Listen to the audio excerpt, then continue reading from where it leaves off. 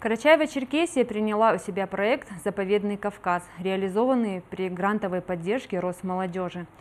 Цель – экопросвещение молодежи и популяризация экотуризма. В течение шести дней представители Симферополя, Ялты, Иркутска, Санкт-Петербурга, Москвы и Туапсе изучали уникальную природу Тиберды. Записывали треки экомаршрутов, трудились над благоустройством заповедной территории, очищая от мусора туристические тропы в Ганачхирском ущелье к озеру Туман-Лыкёль, на маршруте к Бадукским озерам, а также в ущелье Аманаус к Суфруджинским водопадам. Молодые ученые, журналисты, фотографы создали большое количество фото и видеоконтента, который используют различные медиаресурсы для продвижения экотуризма.